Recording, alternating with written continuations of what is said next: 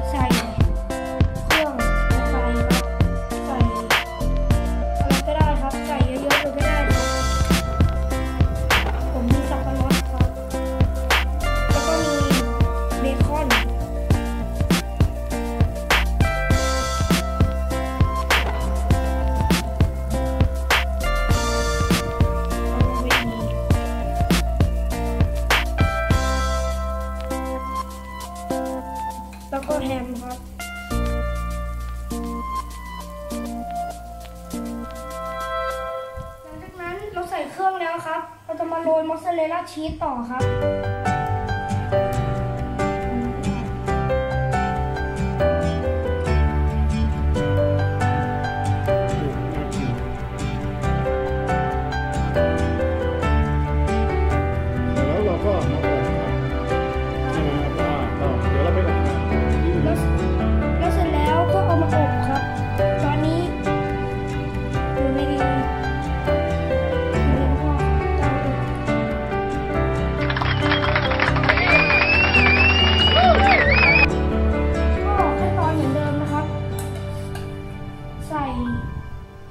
นี่จะทำหน้าอะไรครับ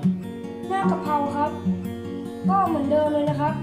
ตอนแรกใส่ซอสครับ โอ้ใส่ซอสใส่คราวนี้ใส่น้ำซอสให้หมดเลยดีกว่าเพราะว่าครัมับ นมันจะหมดแล้วครับ อืมอันนี้เราทำสองหน้า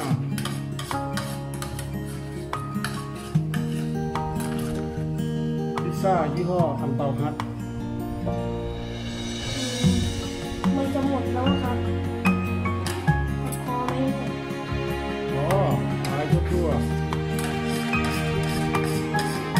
ทำเอง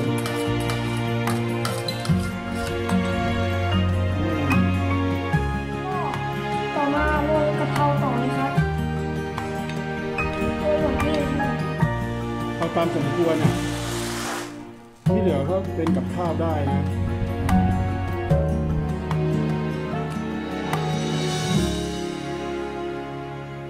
เป็นกับข้าวกินกับข้าวก็ได้ อันเนี้ยวันนี้จะมา แซ่บอยู่ ใช่ครับผม